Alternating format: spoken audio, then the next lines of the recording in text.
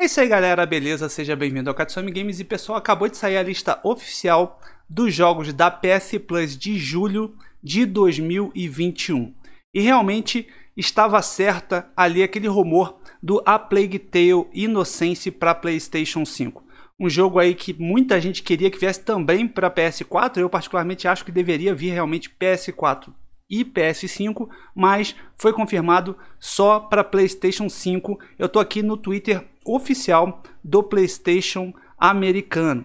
O segundo game seria o Call of Duty Black Ops 4, um jogo aí de bastante fama. Call of Duty muita gente já conhece. De repente vai ser uma boa aí para quem curte. Eu não sou muito fã desse estilo de jogo. Aliás, vem Call of Duty em quase todo mês agora, né?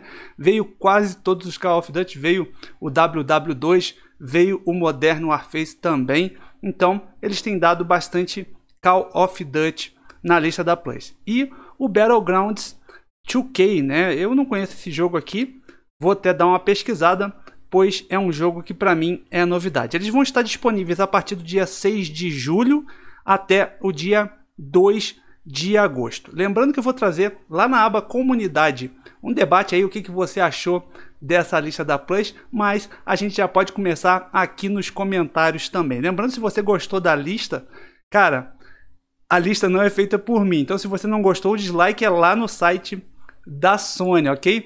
Eu particularmente achei uma lista mediana, o A Plague Tale é muito bom, mas infelizmente só para PlayStation 5 foi uma pena. O que, que você achou aí da lista? Deixa aí nos comentários. Não esquece de deixar aquele like que sempre ajuda muito na divulgação do vídeo do canal. Se ainda não é inscrito, é uma ótima hora para isso. Aproveita e ativa o sininho para não ficar por fora de nenhuma notícia, gameplay, tanta coisa boa que eu trago aqui para vocês. Se quiser compartilha aí o vídeo à vontade. Eu vou ficando por aqui. Desejo a vocês tudo de melhor sempre, aquele forte abraço. Valeu e fui, galera!